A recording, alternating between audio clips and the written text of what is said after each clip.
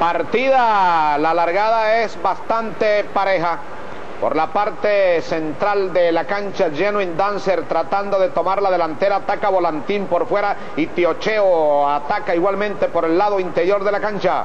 Se vienen a pelear por el primer puesto la yegua Capaz el caballo Hot Taxion ataca con Tiocheo, eh, lo hace también por el centro de la pista el ejemplar eh, Winton y el caballo Volantín por fuera. Luego corre Sindabad dominando capaz a Hot Taxion y a Winton. Eh, Volantín corre cuarto muy bien colocado. En 24-3 los primeros 400 metros. En el quinto anda Tiocheo, sexto Sindabad. Luego Genuine Dancer, Giovanotto tan bonita. Eh, penúltimo está corriendo el caballo de Horse y se quedó en el último lugar el ejemplar Mantle. La pelea por la primera posición es ahora entre el ejemplar eh, Hot Action que fue al frente, capaz quedó segunda, en el tercero Winton, Volantín sigue cuarto y Tío Cheo en el quinto lugar cuando van a la recta de enfrente. Hot Action adelante en el clásico Copa de Oro de Venezuela del 86. Los 1200 en 1.15-1.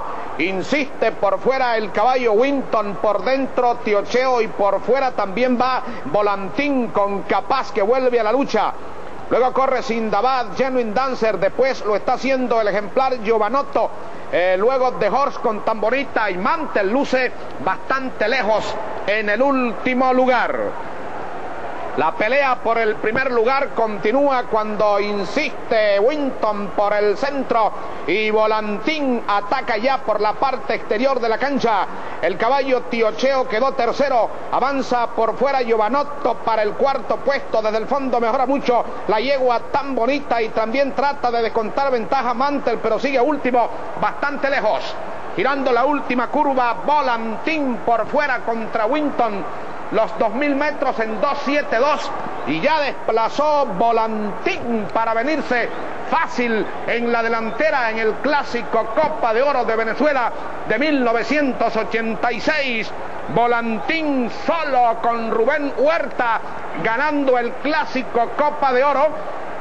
Les ganó Volantín muy fácilmente. Segundo Winton, tercero Giovanotto, cuarto Genuine Dancer, quinta tan bonita.